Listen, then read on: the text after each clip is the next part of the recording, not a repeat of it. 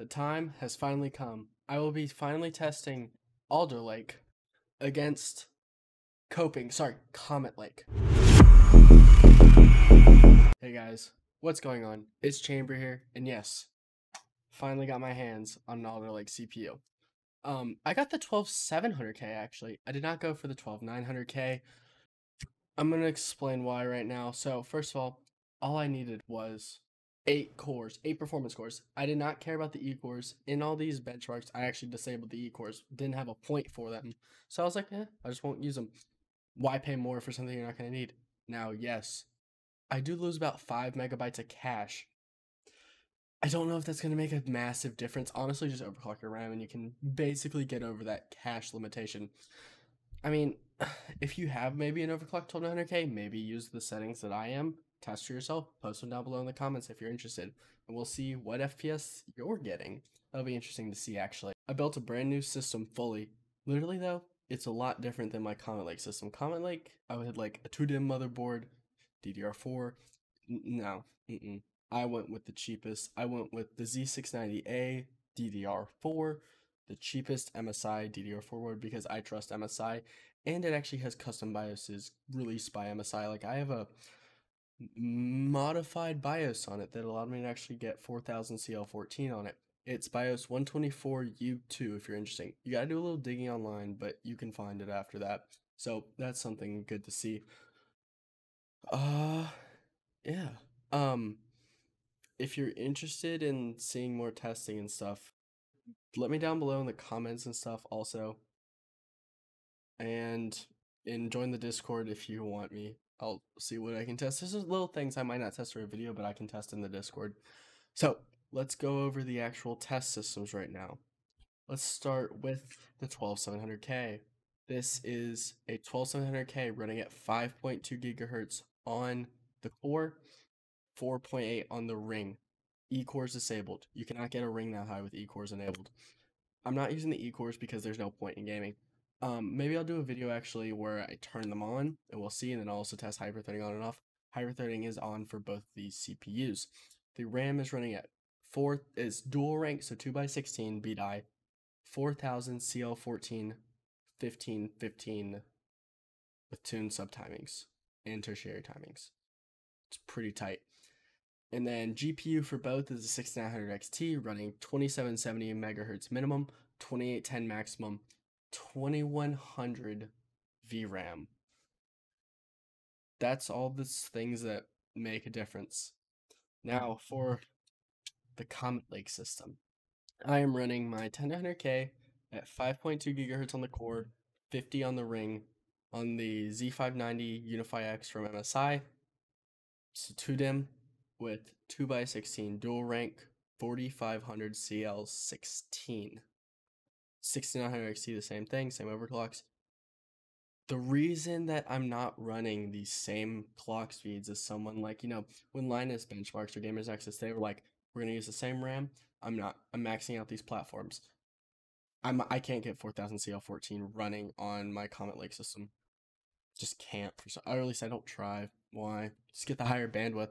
So that's why these numbers are not the same, and I'm not running stock. I'm running overclocked. The goal of this channel is to maximize your gaming performance. That's what we're doing here. We're overclocking. All these benchmarks are at 1080p low because 1440p, no, yes, that is my monitor's refresh rate. It's not the most popular resolution. 1080p is, and also 1440p is more GPU bound. We're not doing a GPU benchmark here. We're doing a CPU. So, um, yes, let's get to the benchmarks.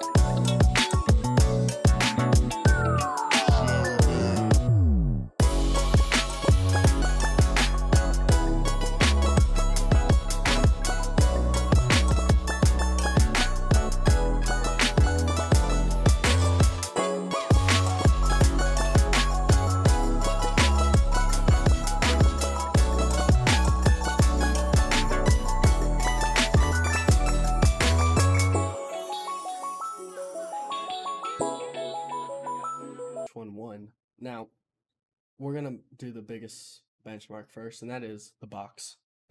This box looks better. Now I know I don't have the 12900K, so I don't have like the golden sample. This box just looks cooler. Like something about the 12900K golden like chip just looks like eh. It's like do that for the KS. They should they should do that for the KS only.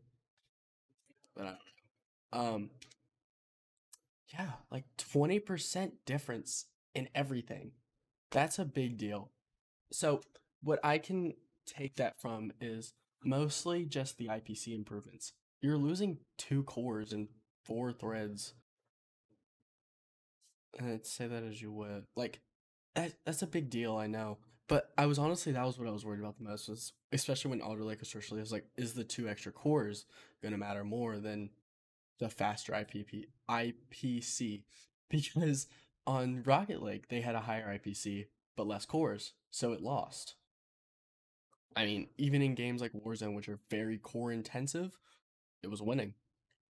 Um, Fortnite did insane. That's a very single core threaded game. Same thing as CSGO. And then I threw in this 3D Mark benchmark because it is the it's one of the best benchmarks I've realized that can show gaming performance. So that's why I used it. Um, you can see games. So maybe a game that uses 16 cores, you can see the FP. You can see the rough estimate game performance difference. So maybe it's a single thread. You can see that kind of percentage difference. Yeah. Um, take that as you wish. Um, what am I gonna do with my 10900K system? Um, well, it's obviously e-waste now, so um, it'll probably. J- I'm kidding. It's gonna become my streaming PC. It's still a great chip.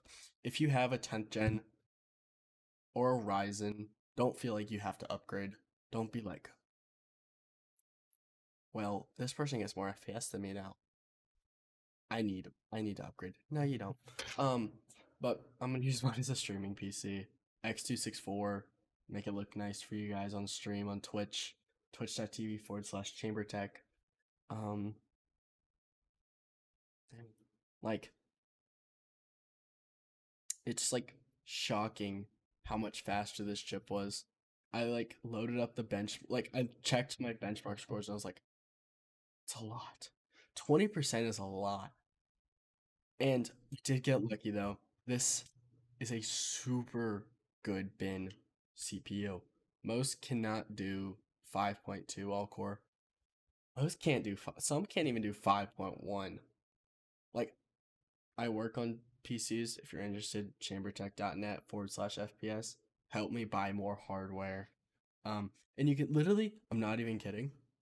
There's some that can't do 5.1. They're stuck at 5. Like, I'll load up like OCCT, not even run the stress test, just crashes. So, if my my advice is, if you're an overclocker, get the 1200K. Unless you're just like, I don't care about bin. Let's just have some fun, because this is very variable in the bin. It's the same thing as with the 10850K and the 10900K 10th gen. So, is the 12700K worth it? I would say that if you're going from an older CPU, definitely like 8th gen Intel or any Ryzen that isn't 5000 series, this would be a worthy upgrade. Um, you could wait for new AMD, but at the same time, Micro Center is like slashing these prices, and I was able to price match with Best Buy in the US. That's I got the chip for 350 instead of like 420. It's an insane deal, so I did it. Yeah. So my advice: if you're already happy with your FPS of your system, don't don't don't have don't have a need to upgrade. You're fine. If anything, and you just want a little bit more performance, overclock your rig. Join the Discord if you don't know how to. We can teach you. Um, and yeah, if you're temp limited on your current rig, buy new thermal paste. Cause dude, this chip gets hot. I I I've got content planned. I'm like, I can do D-lid, copper IHS, washer mod, liquid metal, so many things. This thing gets hot, dude. But anyways, if you enjoyed the video, hit the like button down below, subscribe, comment down below what your rig is, and honestly, are you thinking about upgrading to Alder Lake, I'm interested to see what people are. Anyways, peace.